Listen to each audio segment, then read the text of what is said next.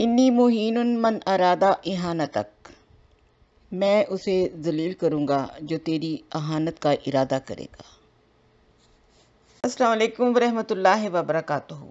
नाजरीन, ये इल्हाम पूरा होता हुआ आपने अपनी ज़िंदगियों में बहुत दफ़ा देखा होगा। ये चैलेंज दरअसल आम मखलूक के लिए तो था ही, मगर ख़ास मुखातिब मौलवी मोहम्मद हुसैन बटालवी थे।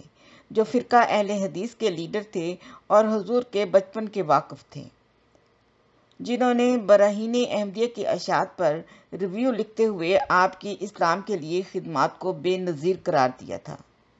लेकिन दुश्मनी में इन्होंने यहाँ तक लिख दिया कि ये मेरे रिव्यू पर नाजा है। मैंने ही इसको बढ़ाया है और मैं ही अब इसको गिरा दूँगा।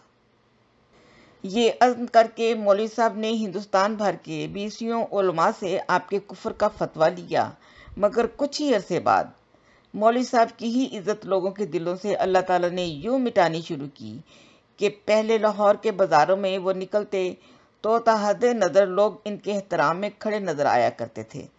गैर मज़हब के लोग भी मुसलमानों को देख कर इनका अदब करते थे और गवर्नर गवर्नर जनरल इनसे इज़्ज़त से मिलते थे।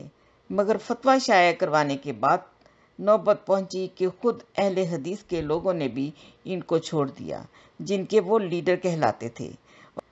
और देखा गया कि स्टेशन पर अकेले अपना सबाब अपनी बगल और पीठ पर उठाए हुए चले जा रहे हैं और कोई पूछता नहीं।